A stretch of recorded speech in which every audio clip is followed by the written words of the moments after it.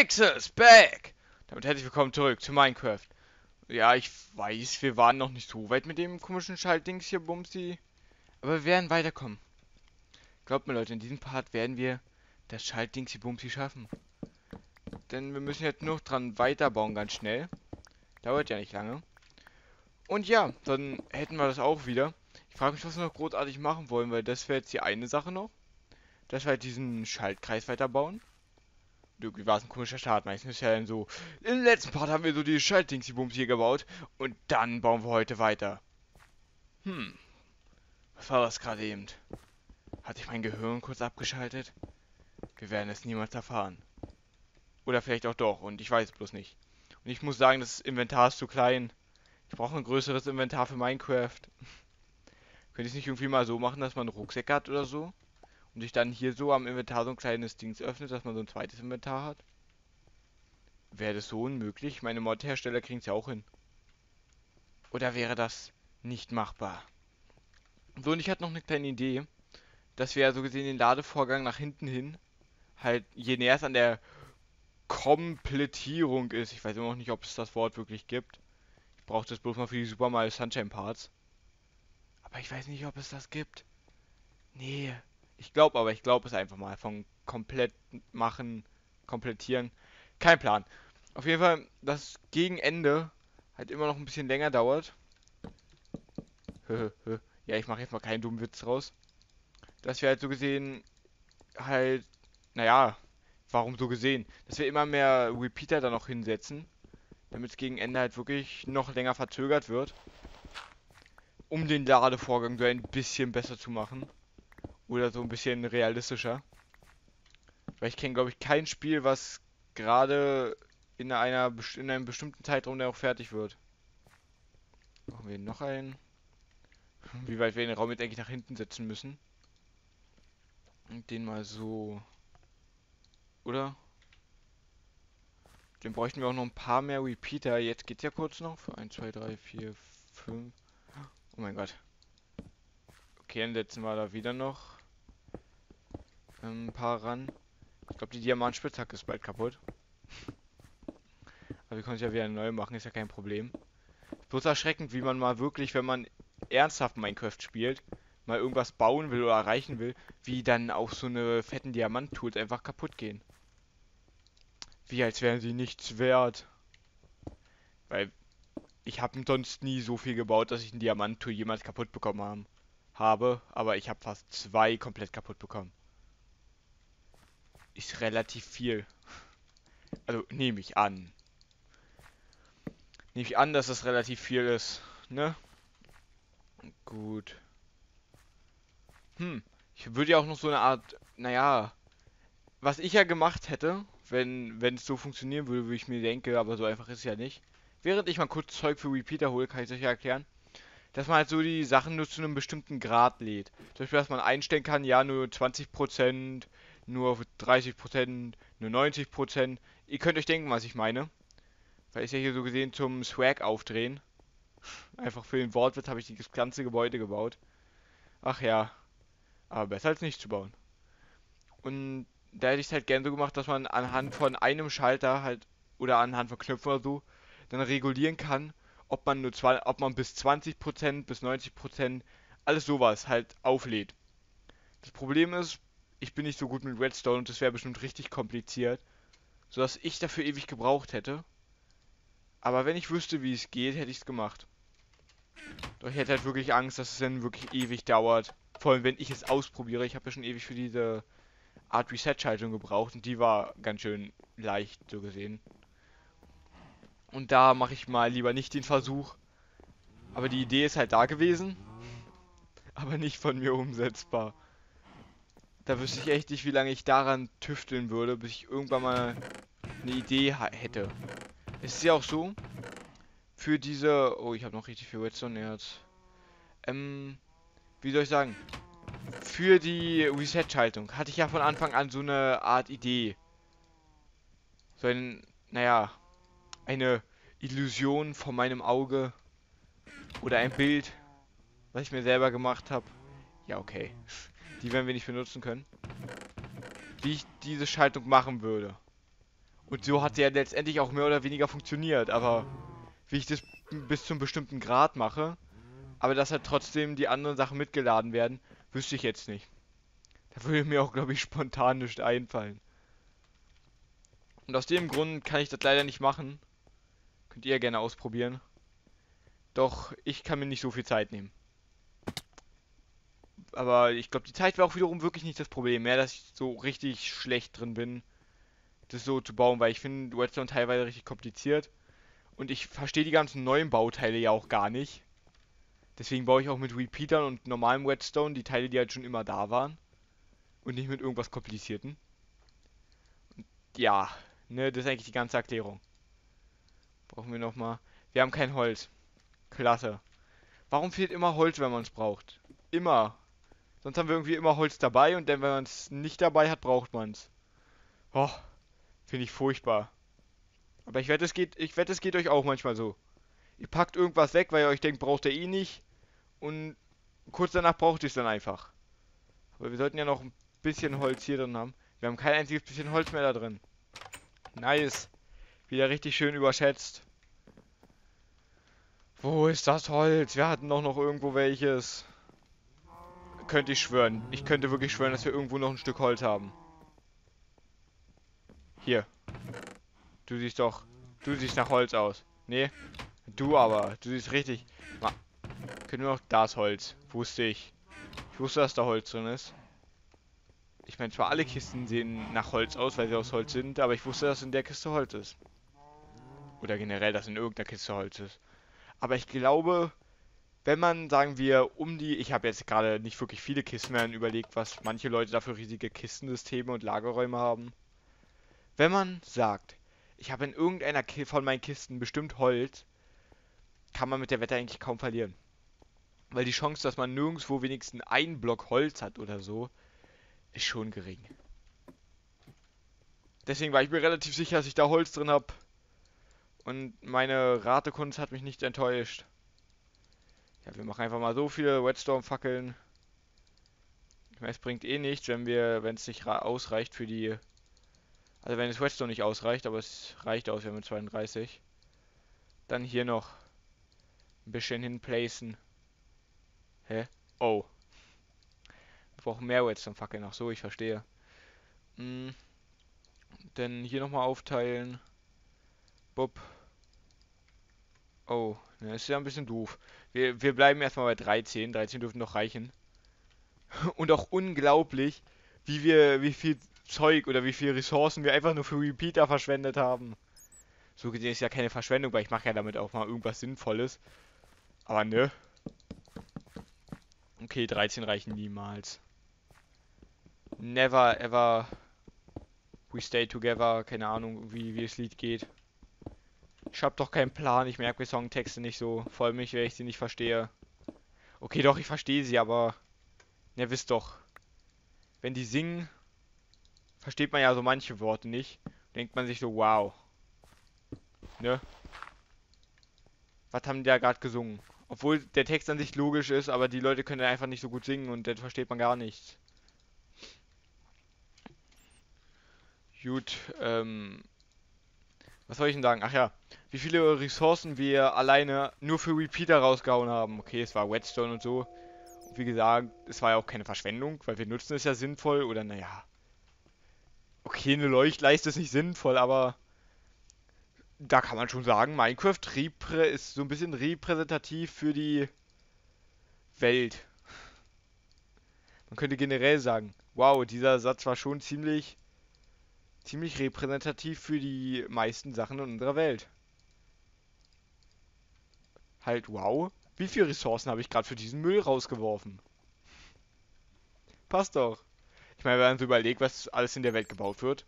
Was so richtig unnötig ist. Aber Hauptsache, sie bauen es. So riesige Gebäude. Wo tausende Tonnen von irgendwelchen wertvollen Ressourcen draufgehen. Weil, ist nur so mit Minecraft, ja. War es nicht irgendwie so in Russland, dass sie Minecraft verboten haben? Genau aus dem Grund, weil man hier Ressourcen verschwendet und die Welt ausbeutet. Indem man Tiere tötet und alles mitnimmt, was man gerade braucht. War, war da nicht irgendwie sowas? Ich könnte schwören, da war sowas. Nee, aber es war wirklich in irgendeinem Land so. Ich kann ich halt bloß gerade nicht genau sagen, in welchem. Und da meine ich, da haben sie auch recht. Bloß leider ist so, dass Minecraft, das gute alte Minecraft, ja immer noch so ist, dass die Welt endlos ist. Oder ich glaube auf drei Millionen Blöcke in jede Richtung begrenzt. Ist mit. Oder halt auf den Speicher des Computers, ja. Ist auch auf den Speicher des Computers begrenzt. Aber die echte Welt ist so, ne? Einmal vorgeneriert und für immer da, ne? Da kann man nicht mehr so viel dran ändern. Und wenn dann da mal so die Ressourcen ausgehen, hey, Redstone reicht nicht. Ich sollte nicht so verschwenderisch sein. So für so eine doofe Leuchtleiste. Ich meine natürlich die, den Twagometer. Der ist natürlich sehr wichtig. Ich meine, er hat auch eine furchtbar gute Geschichte. Eine sehr wichtige. Dazu werden wir im nächsten Part erst kommen. Denn ich will noch was Lustiges ranbauen. Und da ich irgendeinen Grund brauche, warum ich das ranbaue, werde ich euch in der nächsten, im nächsten Part erstmal noch eine kleine Geschichte erzählen, ne? So gute Nachtgeschichten mit Pixel. Obwohl ich wahrscheinlich selber noch, okay, ich wollte jetzt sagen, obwohl ich jetzt nicht wirklich Geschichten für irgendjemanden vorlesen muss. Okay, doch, ich lese oft irgendwelchen Leuten was vor.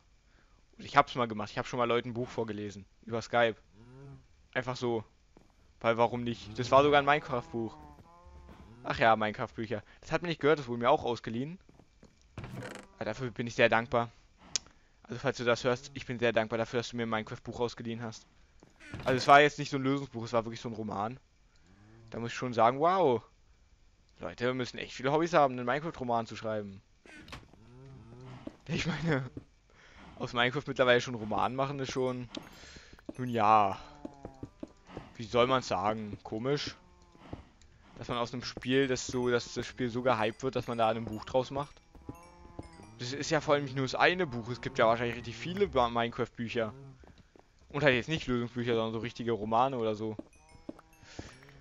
Da fragt man sich schon, ja, äh, warum? Von wer kam auf die Idee, Minecraft zu spielen? Und davon ein Buch zu schreiben? Das müssen dann eigentlich relativ coole Leute sein, weil Kinder werden keine Bücher schreiben. Das müssen ja Erwachsene sein, die Minecraft richtig krass finden. Oder halt einfach Leute, die gut in Büchern schreiben sind. Ich auf jeden Fall nicht. Also ihr wisst jetzt schon, das Buch ist definitiv nicht von mir. Wer hätte es erwartet? Wow. Das kam jetzt bestimmt enttäuschend für viele, aber das Buch ist nicht von mir, ne? Hm. Ach ja, ach ja. Ist schon erschreckend, wie viel Redstone wir brauchen. Für so eine verdammte Leiste. Ich meine, die Zwegometer. Wir dürfen ja nicht die Wichtigkeit, wenn es das Wort überhaupt gibt. Ich weiß, äh, naja, wie soll man es sagen? Gibt's, gibt's für wichtig überhaupt einen äh, Nom? Ich glaube nicht. Dann sagen wir, wir dürfen ja nicht unterschätzen, wie wichtig dieser Leuchtleiste ist. Deswegen bekommt sie auch einen eigenen Namen, Swagometer halt. Damit wir nie vergessen, wie wichtig diese Leuchtleiste ist. Ich meine Swagometer. Gut. Mehr Redstone fucking geht nicht. Das reicht für 24 Repeater. Nice. Haben wir so viel Stein überhaupt noch? Gut, haben wir. Wird aber auch knapp. Warum muss alles knapp sein?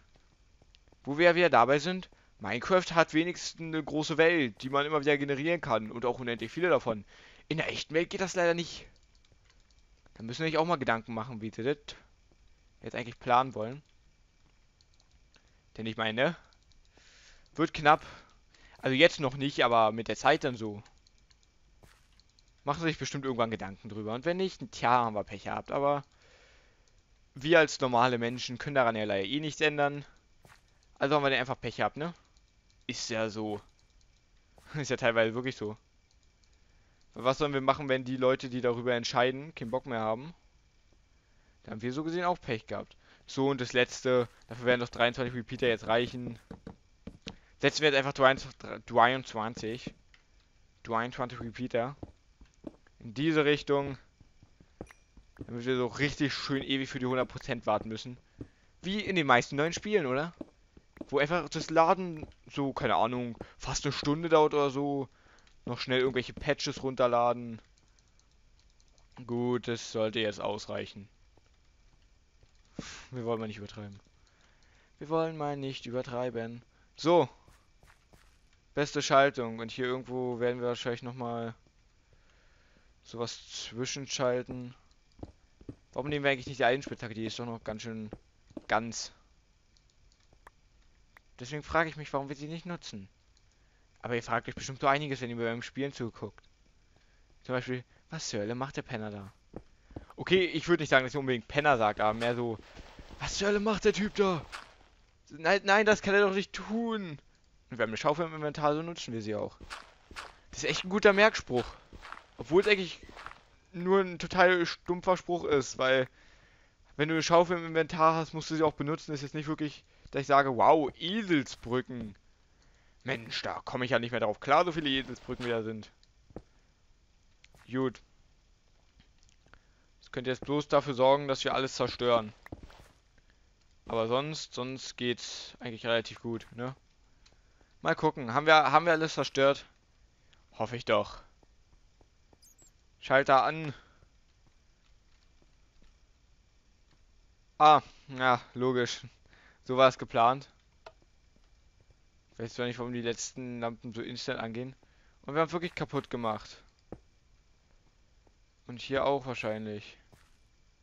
Gucken wir erstmal, ob es ohne Repeater auch klappen würde. Das Doofe ist ja, das sind die einzigen... Ja, heißt nicht sogar Whetstone-Verstärker, ja. Das sind die einzigen Sachen, die dieses Whetstone halt einmalig verbessern. Gucken wir mal kurz. Geht doch so. Nee, sage ich doch. Sage ich doch, das geht nicht so. Aber was sollen wir dann machen? Das zerstört die ganze Schaltung. Achso, die haben wir alle gar nicht angestellt. Ups. Mal kurz so. Da hat gerade irgendwas geklingelt, ich weiß nicht was. Aber das iPad wollte mir wahrscheinlich sagen, dass ich wieder irgendwas Unnützes nicht gemacht habe. Danke, iPad. Das immer hilfreich. Gut, dann jetzt nochmal. Nochmal probieren. Denn probieren geht über studieren. Was eigentlich ziemlich traurig ist, wenn der Spruch wahr wäre. Ich habe schon wieder kaputt gemacht. Nice. Das zerstört also die ganze Schaltung. Warum? Warum zerstört das die ganze Schaltung? Ich verstehe es nicht. Das müsste doch eigentlich ausgehen, wenn... Hä? Soll, der Repeater sollte doch ausgehen, wenn kein Strom mehr dran ist.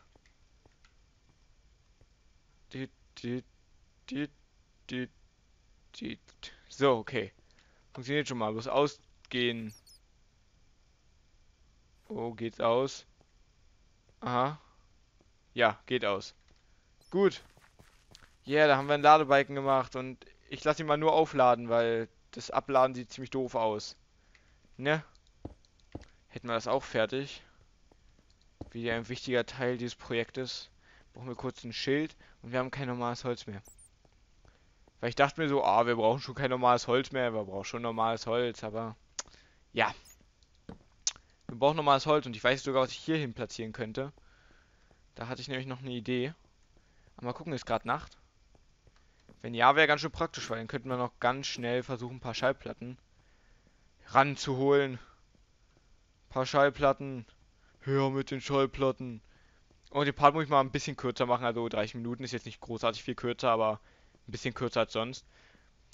Denn in den letzten beiden Tagen habe ich ja schon nicht geschafft, ein Video hochzuladen. Das will ich jetzt natürlich wieder aufholen oder gut machen. Das Problem dabei ist dann halt bloß, dass ich ja vom Hochladen auch mitkommen muss. Und das könnte schwer werden, wenn die Videos erstens zu lang werden. Und es generell auch praktischer werden, die kürzer macht, dass man mehr Videos hat. Aber ich glaube, das hatten wir alle schon mal. Das habe ich alles schon mal erklärt. Und ich wundere es gerade echt, dass wir keinen Hunger bekommen, weil... Ist ja eigentlich eine Weile her, seitdem wir das letzte Mal irgendwas gegessen haben hier. Gut, okay, wir stehen nur unten in der Höhle und bauen irgendwo Repeater hin. Aber vielleicht macht es ja auch hungrig. Wer weiß, wie viel die, die Dinger wiegen. Bestimmt viel.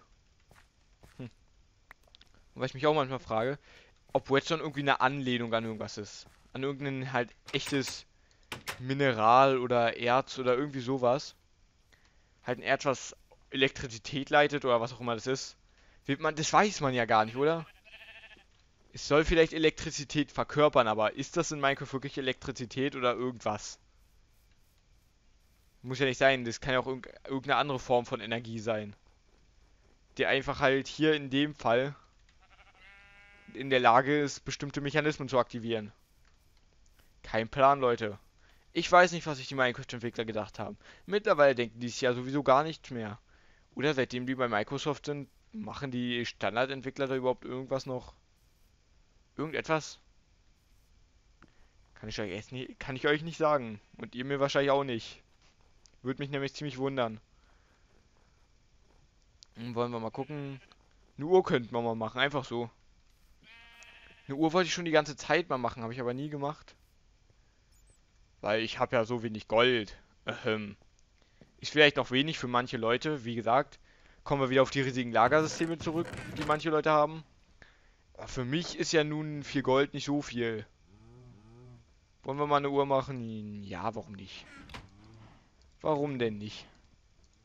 Einfach weil wir es können. Ein Whetstone. Ach ja. Und ich glaube, ich werde hier Minecraft nicht mehr auf die neue Version upgraden. Weil erstmal, ich müsste es ja dann nach dem Enderdrachen machen. Weil ich da sonst Angst hätte, meine Welt zu korrupten. Halt, dass irgendwelche Dateienfehler auftreten. Oder die ganze Welt dann sich komplett verschiebt und alles scheiße ist, weil... Ja. Wie soll ich sagen, was haben wir hier eigentlich für ein Biom? Wüsste ich gern mal. Das steht wo? Äh, stand doch hier. Tiger. Zum Beispiel, das, wir haben ja im Update 1.6.2 gestartet. Oder in der Version, nicht im Update. Mm.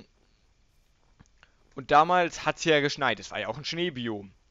Ich habe halt Angst, dass wenn ich auf die neue Version upgrade oder update, dass dann halt wieder alles corrupted wird oder sich alles ändert, dass die Welt dann neu generiert wird und all so ein Scheiß, dass irgendwo was steht, wofür nichts gestanden hat. Und ihr versteht doch bestimmt, was ich meine. Wenn nicht, es kann halt passieren, dass sich dann Text, äh, nicht Texturen, sondern Gebäude ineinander generieren, alles total verbuggt ist, auf einmal fette Biomabschnitte enden mit so einer schön hässlichen Wand und all sowas kennen wir ja von da drüben. Bei dem Pilzwald, den gab es ja früher auch nicht. Da, wo einfach fette Abschnitte sind. Hm. Und deswegen müsste ich das nach dem Enderdrachen machen. Noch nach dem Enderdrachen würde ich das Let's Play Game beenden. Weil wann sonst? Das ist so der beste Moment dafür. Und ja, das einzige, der einzige Grund, warum ich das Update auch machen würde, wäre ja, um halt den Fischtempel, wollte ich sagen, klar, den Fischtempel, um diesen Wassertempel zu machen. Und da würde ich wieder sagen, so doll ist er ja auch nicht. Da gibt es ja nicht mal irgendeinen bestimmten Boss oder so. Das ist ja einfach irgendein Gegner, der nichts Bestimmtes droppt. Einfach eine größere Version von diesen Gruselfischen. Und sonst bringt der Dungeon ja auch nichts. Vielleicht ein paar Goldblöcke, okay. Aber nichts, was ich jetzt noch bra brauchen würde, was irgendwas ändert. Ich muss auch gucken, wie ich das mit dem River mache. Ich müsste ja eigentlich noch richtig viele River-Typen farmen. Damit ich halt, naja. Ihr wisst, ne? Den River besiegen kann. Und dann einen Beacon bauen. Ist schon doof. Muss ich ehrlich sagen, muss ich mal gucken, ob ich mit euch noch River farme. Weil es kann ewig dauern.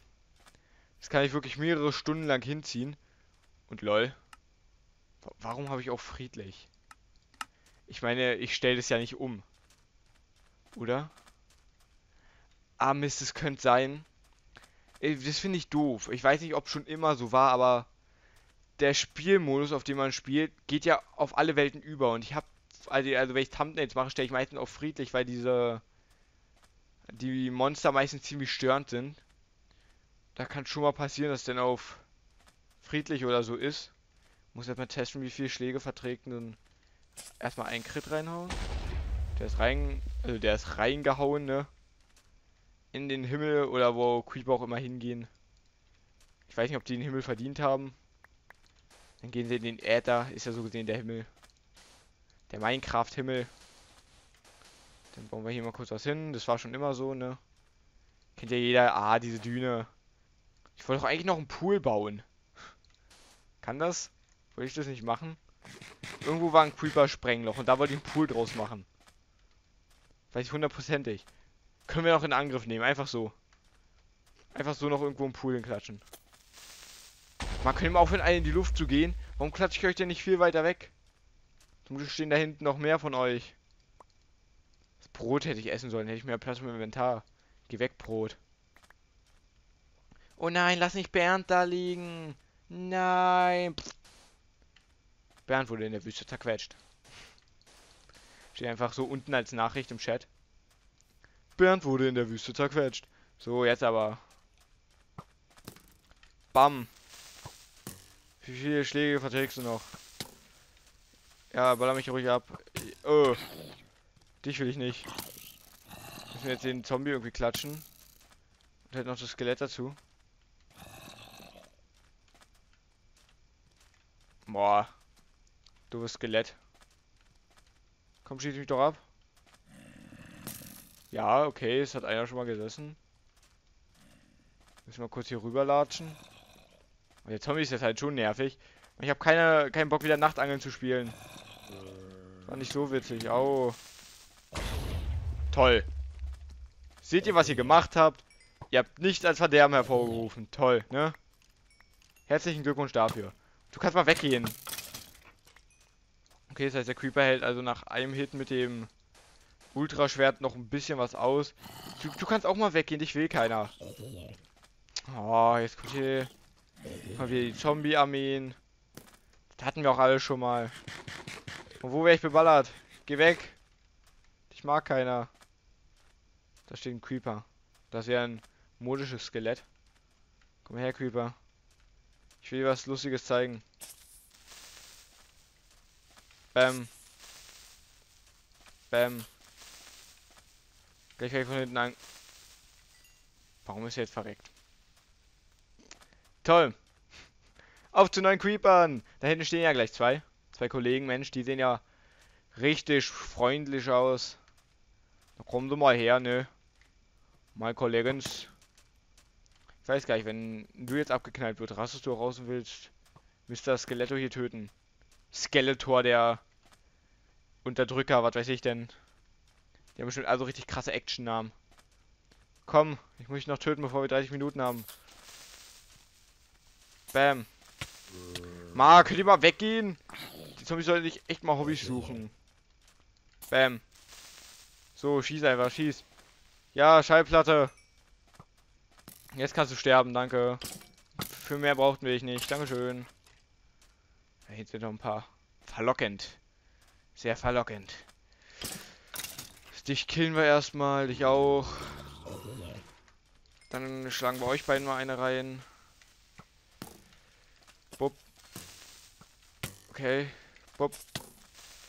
Jetzt, jetzt, wollen, jetzt werden wir aber aggressiv hier. Oh. Kommt Leute, hört auf. Wir wollen hier keine Massenprügelei anfangen. Los, ballert. Ja, wir haben zwei Skelette da stehen. Wir sollten sagen, dass keins davon treffen kann. Ey, ihr müsst hier nach unten schießen. Hier. Eine. Zweiten noch. Geil. Jetzt kommen wir bloß nicht mehr raus. Los, Zombie, beschütz mich. Geh gegen die Skelette vor.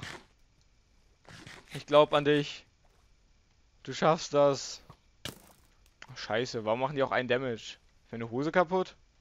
Nee. Macht ein Pfeil trotzdem einen Damage?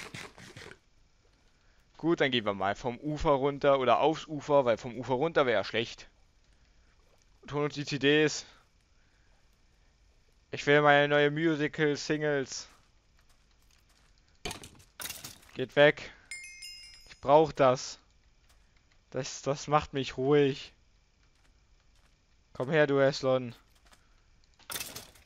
Wo sind meine CDs? Da, da, da ist eine. Das ist die Schallplatte. Achso, na dann. Wenn es so aussieht, ne? Wenn das die Schallplatte ist, dann glaube ich, weiß ich ganz genau was darauf gespielt wird. Gut, dann haben wir nächste, nächste Episode. Ein bisschen musikalische Unterhaltung. Wie gesagt, ich frage mich wirklich, was wir noch machen sollen. Weil ich glaube, den Wassertempel lasse ich jetzt einfach, weil, wie gesagt, der, der bringt ja nichts. Ich würde ihn wirklich gern für euch machen. Aber er bringt nichts. Das ist die Sache. Er bringt nichts. Kriegt man ein paar Goldblöcke, aber wir haben ja schon goldenen Apfel. Das heißt, den brauchen wir auch nicht. Und der Endboss ist nicht mal wirklich stark. Außer, dass er halt Laser schießen kann. Aber okay, das können alle anderen Viecher da drin auch. Deswegen ist der Tempel allgemein scheiße, aber nicht schwer. Und vor allem, wenn man drin ist. Wenn man drin ist, ist er sowieso nicht mehr schwer. Es ist nur so lange schwer, solange der Vorrat reicht, ne? Oder eigentlich ist so lange ist er ja nicht schwer. Hm. Komplizierte Denkwege. Weil solange man Vorräte an Tränken hat, ist er ja nicht schwer, ne? Hexe, du weißt, wovon ich rede. Wenn man genug Gifttränke parat hat, ist so ein komischer Pixel-Dude nicht schwer. Oh, es wird schon wieder Tag. Wir haben drei Schallplatten, aber ich glaube, das ist eine andere. Fahr, Stall und Strat. Und ich bin mir sicher, dass wir Strat schon mal hatten. Ich, meine, ich wusste sogar, dass die Strat heißt, oder? Wusste ich's? Ich weiß es nicht. Das ist wahrscheinlich der dümmste Satz, den man sagen kann. Wusste ich? Ich weiß es nicht. Aber naja. Ne? Immer noch besser als die Welt auszubeuten, ne? Merkt euch Leute, nicht die Welt ausbeuten, ist schlecht. Also in Minecraft könnt ihr es gerne machen, aber dann... Man müsste einfach den Regierungspersonen Minecraft geben. Dann können sie da ihre Gesetze durchsetzen. Nice, dann können sie da Diktaturen starten und sowas. Und die Welt ausbeuten. Und lassen die echte Welt in Ruhe. Perfekt. Minecraft ist einfach so Weltausbeutungssimulator, keine Ahnung, 2011. Ich weiß nicht, wie alt Minecraft ist. Könnte 2010 oder 2011 gewesen sein. Auf jeden Fall schon relativ alt. Könnte auch schon viel älter sein, 2008 oder so. Ich weiß es nicht, ich kann es euch nicht sagen. Ich kann euch vieles nicht sagen, ich weiß, aber so ist das nun mal bei mir. Hm.